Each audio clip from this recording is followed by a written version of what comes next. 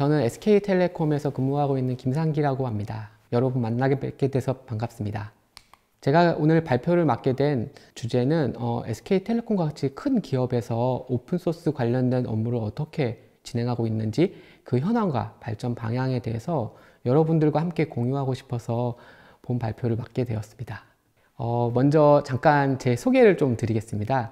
아, 저는 SK텔레콤의 기업문화센터에서 tech 조직에 일하는 문화, 환경 같은 것들을 개선하는 일을 하고 있는 음, tech culture COE라는 조직의 팀의 김상기라고 합니다. 어, 아래에 있는 그림은 어, 저희 사내 화보에서 실린 제 부캐에 대한 소개 그림인데요. 사실 제가 운영하고 있는 어, 개발자 커뮤니티 티어브라고 하는 곳에서 보통 다들 닉네임으로 활동을 하거든요. 개발자분들이. 그래서 그 개발자분들하고 같이 저는 닉네임인 꼬마 집사로서 되게 더 많이 알려져 있고요. 어, 이 커뮤니티를 벌써 한 2년 정도를 운영을 하면서 어, 여기에 올라오는 글 같은 것들을 읽고 개발자들과 함께 공유와 협업의 문화를 만들어가는 일을 하고 있는 꼬마 집사입니다. 네. 개발자 커뮤니티를 구축하게 된 배경입니다. 어, SK텔레콤에서는 소프트웨어 개발과 관련돼서 어, 개발하거나 운영하는 서비스들이 엄청 많이 늘어나다 보니까 이런 오픈소스 활용에 대한 급격한 증가가 나타나게 되었는데요. 어, 그러다 보니까 이 오픈소스 사용과 함께 대두된 여러 가지 오픈소스에 대한 리스크를 음, 저희가 발견을 할 수가 있었어요. 그래서 이, 이런, 이러한 리스크들을 해결하기 위해서 여러 가지 활동들을 해야 하는데 사실 어, 여기 공개 소프트웨어 페스티벌 보고 계신 분들은 아마도 다들 이런 오픈소스에 대한 문제들이나 이슈들을 잘 알고 있을 것 같아요. 그래서 저희 회사들, 저희 회사도 마찬가지로 이 오픈소스 인프라라든지 최근에 AI 쪽이라든지 이런 부분이 오픈소스가 너무 활용이 많이 되다 보니까 이에 대한 대응을 위해서 어, 다음과 같은 과제를 추진을 하였습니다. 그래서 앞에서 말씀드린 그런 이슈들, 여섯 가지 이슈들에 대해서 해결하기 위해서 어, 크게 보면 두 가지 과제를 추진을 하였는데 어, 이 추진된 과제의 첫 번째는 어, 오픈소스 사용과 관련된 거버넌스에 대한 체계를 구축하는 일이었어요. 이 체계는 사실 법무팀을 중심으로 해서 저희 오픈소스 사용에 대한 오픈소스 라이센스 검증을 어, 시스템을 통해서 의무적으로 점검을 하고 어, 모니터링하는 일이었고요. 어, 두 번째로 했던 일은 오픈소스에 대한 커뮤니티 활성화였어요. 이 커뮤니티 활성화는 사실 R&D 조직, 개발자를 중심으로 하는 R&D 조직에서 만들어졌고 이 커뮤니티 구축을 통해서 개발자들의 커뮤니티 참여를 유도하고 오픈소스에 대한 개발 문화를 회사의 개발 문화로 정착시키기 위한 노력들을 하셨습니다. 그래서 어, 저는 이 티어브 커뮤니티에 대한 어, 활성화에 대한 부분을 담당을 하고 있는데 이 부분에 대해서 조금 더 자세하게 다음 장부터 설명을 좀 드리겠습니다. 어, 저희는 티어브라고 부르면 어, 다들 알고 계셔서 이제 이제부터는 저희 오픈소스 커뮤니티를 티어브라고 조금 명칭을 바꿔서 말씀을 드리겠습니다. 어, 티어브에서는 음, 사실 오픈소스 그 앞에서 말씀드린 오픈소스의 이슈, 어, 정보 공유에 대한 문제를 해결하기 위해서 어, 티어브를 만들었지만 사실 19년도부터는 이 오픈소스 문제뿐만 아니라 어, SK 그룹의 개발자들의 소프트웨어 기술이나 개발 지식을 공유하기 위한 그런 문화의 혁신 공간으로서 어, 소프트웨어 역량 강화를 위해서 더 많은 일들을 하고 있어요. 그래서 개발자들 사이에서 어, 기술 문, 이슈 문제라든지 역량 강화를 위한 여러 가지 tech 블로그라든지 이런 어, tech Q&A 어, 세미나들, 정기정기 세미나들을 하고 어, 특별히 티어브 내에는 어, 전문가 그룹, 소프트웨어 관련된 전문가 그룹 이라는 것들을 만들어서 어, 이런 기술 이슈에 대한 해결, 컨설팅을 제공할 수 있도록 했습니다.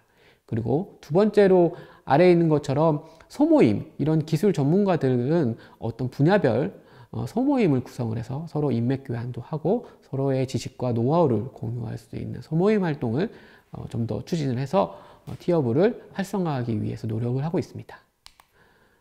어, 이거는 티어브의 출발부터 어, 올해 상반기까지 했던 활동들을 조금 정리해 본 건데요. 사실은 SKT 내에서 어, 인큐베이팅 돼서 어, T 내에서만 활용하던 것들을 어, 19년도에 그룹사 전체로 확산을 해서 어, 지금 16개 SK 그룹의 개발자들이 참여를 하고 있고 한 2,500명 정도의 개발자들이 회원으로 가입되어 있습니다. 그리고 아까 앞서 말씀드린 것처럼 티어브 안에는 소프트웨어 전문가인 어, 저희는 마스터라고 칭칭하는 소프트웨어 티어브 마스터를 한 180명도를 운영을 하고 있고 이분들과 함께 아래에 있는 그림처럼 여러 가지 다양한 오프닝 행사, 마스터의 밤 행사, 그 다음에 이제 우수 활동자들에 대한 시상, 그 다음에 정기적인 세미나 같은 것들을 어, 18년도, 19년도 뭐 저희 코로나 터지기 이전에는 예, 오프라인으로 진행을 했고 지금 현재는 어, 제가 영상 촬영하는 것처럼 이렇게 온라인으로 회의를 하고 온라인 세미나 같은 것들을 수행을 하고 있습니다. 어, 티어브는 이렇게 운영을 했는데 사실 조금 더 티어브 운영과 함께 올해는 좀 더 오픈소스와 관련된 일을 좀 더 잘해보려고 어, 추진했던 일을 이제부터 소개를 좀 드리고자 합니다. 어, 제일 먼저 저희가 뭐부터 해야 할지 뭐 이런 것들이 되게 어, 궁금하여서 어, NIPA에서 발간한 오픈소스 중요성과 시사점이라는 리포트를 한번 보니까 어, 조직의 오픈소스 역량 수준을 여섯 단계로 이렇게 나누고 있었습니다. 그래서 이 단계를 조금 유심히 보니 저희 회사가 하고 있는 단계가 한 4단계 정도 수준이더라고요. 그래서 이 4단계에서 하는 일들이 대부분 자사에서 어, 개발한 오픈소스 프로젝트를 아, 프로젝트를 오픈소스화하고 이 오픈소스를 공개를 하지만 대부분 외부의 커뮤니티와 같이 연계가 되지는 않고 어, 내부적으로만 이렇게 운영을 하는 형태로 하는 게 4단계 정도의 수준이라고 합니다. 그래서 저희 회사가 대부분의 어, 프로젝트들을 오픈소스화 했을 때 이런 활동 정도의 수준에 이르르는 것 같아서 저희가 5단계, 6단계로 가기 위해서 아, 그러면 외부에 있는 커뮤니티와 좀 더 활성화를 하고 활동을 하고 또 우리 구성원들이 또 외부의 오픈소스 프로젝트에 또 가담을 함으로써 어, 이런 오픈소스 컴, 프로젝트를 leading할 수 있는 어, 리더로서 성장을 할 수 있게 앞으로 해야 되지 않을까 하는 그런 로드맵을 그리게 되었습니다. 어, 이런 문서 말고도 실제로 오픈소스를 개발한 개발자들과 함께 어, 인터뷰를 한번 진행을 해 보았습니다. 그랬더니 저희 한 6개 정도 대표 오픈소스 프로젝트들이 여기 나타나는 것처럼 있는데 어, 이런 오픈소스 프로젝트들이 대부분 공개의 목적은 어, 자사의 프로젝트를 홍보하거나 사용자를 확대하려는 목적과 함께 어, 사회적 기업 또는 생태계 그 다음에 오픈소스에 대한 프로젝트를 지속하기 위해서 어, 공개를 하고 있었는데 어, 이분들 핵심 개발자들 여섯 분을 만나봤는데 이분들이 저희한테 요구하는 얘기는 어, 다음과 같은 얘기였습니다. 크게 보면 한 여섯 가지 정도의 카테고리로 나눠지는데 어, 사실 조금 더 요약해서 말씀을 드리면 어, 오픈소스를 공개하는데 되게 많은 애로사항들이 있었다고 하더라고요. 그래서 사내 오픈소스를 공개하거나 아니면 외부의 오픈소스에 어, 기여를 할 때 어떤 형, 어떤 어, 룰을 따라야 하는지 어, 이런 가이드가 조금 필요하다. 이런 얘기를 했었고요. 그 다음에 이제 오픈 소스하고 관련된 전문 어, 정, 전문적인 어, 이런 내용들을 좀 문의할 수 있는 이런 창구가 있으면 좋겠다. 지식들을 교환할 수 있는 뭐 그런 내용도 있었고요. 그다음에 인프라에 대한 내용들, 오픈 소스로 개발하는 인프라에 대한 가이드들, 그다음에 오픈 소스를 조금 전담하는 어, 이런 인력들, 리소스들도 같이 좀 있었으면 좋겠다. 뭐 이런 얘기도 있었고, 그다음에 이제 외부에 이제 오픈을 하다 보니까 이런 오픈소스 프로젝트를 홍보하거나 아니면 다른 커뮤니티랑 협력하는 경우에 어, 비영리 오픈소스 재단이나 이런 곳과 협력을 할 때 이게 이제 개발팀 자체적으로 하는 거에 대해서 되게 한계를 가져고 있다. 그래서 좀 같이 이런 것들을 도와줄 수 있는 어, 그런 지원 조직이 있으면 좋겠다. 뭐 이런 얘기들을 오픈소스 개발자들이 많이 하셨습니다. 그래서 저희가 이런 것들을 잘 하고 있는 해외에 벤치마킹을 조금 해봤는데 어, 해외에 보니 어, OSPO라고 하는 오픈소스 프로그램 오피스라는 조직을 두고 어, 기업이 오픈소스로부터 최대한의 이익을 취하고자 할 때 필요한 오픈소스 정책이라든지 가이드, 도구를 제공하는 프로그램들을 만들고 이런 것들을 계속 지원하는 조직을 가지고 있더라고요. 그래서 어, 저희도 이런 것들을 좀 벤치마킹해서 어, 사내 오픈소스와 관련된 정책 가이드, 교육 등을 할 수 있는 음, 그런 조직과 그다음에 툴, 도구들, 인프라들을 구축하고 그런 것들을 지원해 줄 수 있는 조직 그리고 커뮤니티를 활성화하기 위한 이런 조직들을 크게 구축을 하면 어떨까 하는 생각을 하였습니다. 그리고 해외에 있는 OSPO 조직들을 조금 살펴보니 아, 대부분 다 이렇게 글로벌하게 하는 업체들, 기업들은 대부분 하고 있었고요. 어, 특별히 이제 오픈소스와 관련된 정책이나 가이드 등은 사실 외부에도 이런 식으로 공개를 해서 사이트에서 운영을 하고 있었습니다. 그래서 SK텔레콤에도 이런 OSPO라는 조직을 구성을 하고 어, 목표를 수립을 해서 어, 이런 활동들을 어, 수립 어, 진행을 하였습니다. 그래서 뒤에서는 제가 이 각각의 세 가지 활동들에 대해서 어떤 일을 했는지를 좀 소개를 드리려고 하고요.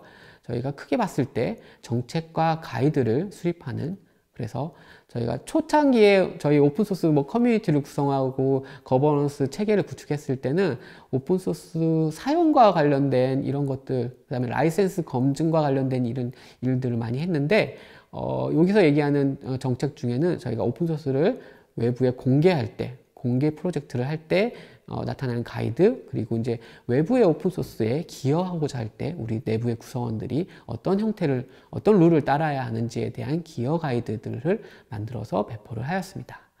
그리고 오픈소스와 관련된 도구와 인프라들을 지금 현재 사내에 있는 인프라들을 조금 개선을 하고 어, 구축을 해서 어, 약간 쉽게 활용 가능하게 개발자들이 활용 가능한 인프라를 구축하는 일들을 하였고 어, 제가 좀 특별히 더 하고 있는 일인데 커뮤니티 활성화를 저희 티어브 내에 티어브를 활용을 해서 어, 오픈소스에 있는 그런 문화들을 어, SKT 내 개발 문화로 정착하기 위해서 어, 여러 가지 일들을 하였습니다. 세 가지 활동에 대해서 조금 더 자세하게 살펴보도록 하겠습니다. 첫 번째 정책 가이드 수립 쪽 내용은 사실 이제 오픈소스 사용과 관련된 정책 때 유의해야 할 일이라든지 아니면 라이센스 검증 그다음에 이제 보안 취약점은 어떤 식으로 검증해야 하는지 이런 사용 오픈소스를 사용했을 때 필요한 가이드를 만들고 그리고 오픈소스를 공개했을 때 어, 왜 사내에 있는 프로젝트가 어, 외부의 오픈소스로 공개를 했을 때 어떤 어, 룰을 따라야 하는지를 어, 정의한 오픈소스 공개와 관련된 가이드 그리고 이제 외부에 우리 구성원들이 오픈소스를 외부 프로, 오픈소스 프로젝트에 기여를 할 때 어, 떤 기여 정책을 따라야 하는지에 대한 기여 가이드에 대한 내용 세 가지 관점에서 가이드를 만들고 이 가이드를 저희가 OSRB라고 하는 오픈소스 리뷰 보드를 통해서 지속적으로 점검을 하고 이슈들을 공유해서 전사에 이런 이슈들이 어떤 이슈들이 세 가지 관점에서 어떤 이슈들이 나타나고 있는지 이슈 라이징을 하는 이런 협의체를 운영을 하는 형태로 진행을 하였습니다. 그리고 도구와 인프라 관련돼서는 어, 저희가 SKT의 단일한 GitHub 레파지토리를 만들고 앞으로 SKT가 공개하는 프로젝트들은 어, 이 GitHub repository를 통해서 오픈을 할 수 있도록 가이드와 어, 지원 도구들을 조금 어, 구비를 하고 어, 특히 또 오픈소스 관련된 웹사이트를 GitHub을 이용해서 만들어서 어, 지금은 시범 적용 중인데 여기에 저희 SKT에서 오픈한 오픈소스 프로젝트를 공개를 하고 있습니다. 그리고 오픈소스와 관련된 어, 라이센스를 개발자 스스로 점검할 수 있는 이런 도구들도 도입을 해서 운영을 하고 있습니다. 그리고 오른쪽에 보이는 오픈소스 가이드는 저희 오픈소스 웹사이트 안에 구축되어 있는데 이 이것들도 이제 어, 저희 내부의 세 가지 관점에 만들어진 오픈소스 가이드를 어, 외부에도 이렇게 공개해가지고 저희 사내 구성원뿐만 아니라 외부 개발자들도 확인을 해서 같이 활동할 수 있도록 오픈소스의 그런 정책에 맞게 저희도 오픈을 하였습니다. 어, 세 번째로 제가 이제 말씀드릴 부분은 이제 커뮤니티 활성화 부분이에요. 어, 이 부분이 이제 제가 주로 활동을 하고 있는 부분이라서 조금 더 자세하게 말씀을 드릴 수 있을 것 같습니다. 어, 오픈소스 커뮤니티로 저희 앞에서 말씀드린 티어브라는 걸 운영을 하면서 저는 이제 개발자들한테 도움이 될 수 있는 어, 기술 트렌드에 따른 이런 관심도가 높은 주제를 선정을 해서 월 1회에서 2회 정도의 사내 기술 세미나를 이런 식으로 진행을 하고 있습니다. 어, 캡처된 화면은 제가 이제 공지사항에 맨날 띄우는 화면들인데 이게 월 1, 2회 정도 진행을 하니까 어, 내부의 구성원들이 이제 이런 것들을 발표하는 이런 행사의 장으로서 활용도 하고 어, 특히 이 발표는 내부 구성원들 아까 말씀드린 SK 구, 어, 전문가라고 했던 저희 티어브 마스터들이 대부분 하고 있고 어, 커뮤니티를 통해서 또 질의응답이라든지 어, 후속 피드백을 받을 수 있기 때문에 이런 것들이 활성화되면서 커뮤니티 자체도 같이 활성화되는 시너지 효과를 얻을 수가 있었습니다. 어, 두 번째로 하고 있는 일은 아까 말씀드린 전문가들끼리 어, 저희는 지금 전문가 그룹이라고 하면 다섯 개 정도 운영을 하고 있는데 agile이라든지 AI 분야, 오픈소스와 관련된 분야, MSA와 관련된 분야, 뭐 클라우드 분야, 뭐 이렇게 분야별로 나눠서 분야별 전문가들끼리 소모임을 만들면서 실시간으로 이렇게 채팅도 할 수 있는 어, 이런 오픈 채팅방 통해서 실시간 소통도 하고 있고 어, SK 그룹사 차원에서 운영이 되기 때문에 어, SKT와 SK 뭐 브로드밴드, 뭐 SK 하이닉스, 뭐 이노베이션 이런 그룹에 있는 SK 전문가들끼리 같이 모여가지고 인맥 형성도 하고 있고 어, 유사한 일을 하고 있기 때문에 되게 질의응답과 뭐 분위기들이 되게 좋은 것 같아요. 그래서 이렇게 실시간 소통을 좀 하면서 커뮤니티 활성화에 기여를 하고 있습니다. 어, 저희 SK 음, 커뮤니티가 전문가들을 활동하는 사람들이 많다 보니까 저희 전문가들과 함께 스터디 모임을 구성을 해서 어, 사내에 있는 어떤 특정 스터디 모임에 저희 전문가들이 참여를 해서 어, 다른 어, 일반 구성원들한테 관련 지식을 전파하고 공유하는 역할도 하고 있습니다. 클라우드 전환과 관련된 내부의 이런 어, 일들이 많아서 클라우드에 대한 자격증을 어, 취득하는 이런 스터디 모임을 하나 운영을 했어요. 모임 안에는 저희 T 허브에 있는 전문가들이 주로 주도를 해서 발표도 하면서 일반 구성원들까지 이렇게 활성화하는 역할을 했고 같이 어, 자격증 스터디를 하면서 또 어, 자격증도 취득하고 여러 가지 지식 공유를 할 수 있는 그런 역할을 하였습니다. 합화되어 있는 그림이 저희가 우수 사례로 선정돼서 사내에 이렇게 선정되어 있는 저희 스터디 모임입니다. 어, 뿐만 아니라 이제 HR과 관련돼서 저희 이제 커뮤니티에 대한 활동하는 것들이 사실은 내부에 있는 구성원들의 성과와 연결이 되면 좋을 것 같아서 저희가 뭐 교육 시간이라든지 자격증 취득, 뭐 특허, 뭐 어, 외부의 수상한 내역 이런 것들 뿐만 아니라 커뮤니티도 포함을 해서 저희 성과 관리 안에 구성원들이 했던 일들이 정리가 되고 자동으로 그런 것들이 연말에 평가할 때 리더들이 아, 이 구성원들은 이런 커뮤니티 활동에서 뭐 세미나 발표도 했고 뭐 우수 활동자로 선정이 되어서 상도 받았네 라는 것들을 알 수 있게 이렇게 HR 시스템에도 같이 연계를 해서 성과 보상을 받을 수 있도록 하고 있습니다.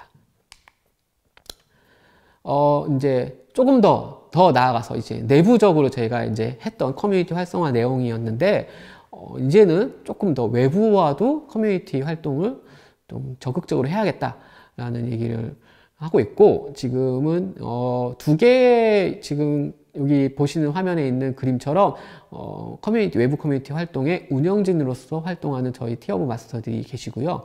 어, 페이스북에 있는 쿠버네티스 코리아 그룹이라든지 오픈체인 코리아 그룹에서 저희가 운영진으로서 저희 SK텔레콤의 구성원들이 활동을 하고 있고 또 외부 커뮤니티로 뭐 Agile Korea Meetup이라든지 뭐 다른 기타 등등의 오픈소스와 관련된 커뮤니티에 적극적으로 활동을 해서 구성원들을 어, 독려하고 있습니다. 어, 지금 기획하고 있는 내용입니다. 사실 외부의 그 티어브라는 그 내부의 커뮤니티가 저희 이제 사내에서만 오픈이 되어 있다 보니까 어, 외부용으로 좀 만들어서 이제 외부의 개발자들하고도 외부에 있는 커뮤니티들하고도 적극적인 소통을 좀 하고자 하는 게 있고요. 그다음 이제 기술 세미나를 지금 되게 다양하게 다양한 분야로 많이 진행을 했는데 이런 컨텐츠들을 좀 모아서 어, 유튜브 채널 같은 것들을 운영을 하면서 외부에 있는 개발자들에게 또 저희 SKT의 SK 그룹의 생생한 개발자 이야기를 좀 공유하려고 준비를 하고 있습니다. 마지막입니다. 네, 저희 이제 오픈소스 커뮤니티가 발전하기 위해서 제가 생각하고 있는 약간의 그림입니다. 그래서 사실은 저희는 내부의 내부 커뮤니티로 먼저 시작을 했지만 어, 내부의 커뮤니티는 저희 기술 커뮤니티로 개발자 커뮤니티로 확장을 하고 있는 거고 그래서 우수한 사례 같은 것들이 내부에 공유가 되고 우수한 인재 같은 분야별 전문가들이 이런 데서 활동할 수 있게 하는 독려하는 내부적인 공간도 있지만 어, 외부로서는 개발자 그 Dev 그 Relation이라고 하는 어, DR 채널로서 이제 외부 개발자랑 관계를 맺어서 저희가 우수한 개발자들을 채용하고 어, 우리 SK의 우수한 그런 개발 기술들을 홍보하는 역할로서도 어, 기능을 좀 확대를 해서 이렇게 내부에 있는 개발자 커뮤니티와 외부의 어, 사용자 커뮤니티로서의 관계를 좀 구축하는 역할, 그래서 허브 역할을 하는 어, 진정한 T 허브가 될 수 있게 앞으로 발전을 하려고 생각을 하고 있습니다. 앞으로 많이 좀 찾아와 주시고 외부에 나중에 오픈이 되게 되면 예, 같이 활동을 좀 진행을 많이 하였으면 합니다. 예, 지금까지 제가 말씀드린 SK텔레콤의 오픈소스 커뮤니티 현황과 발전 방향이었습니다. 예, 마치도록 하겠습니다. 감사합니다.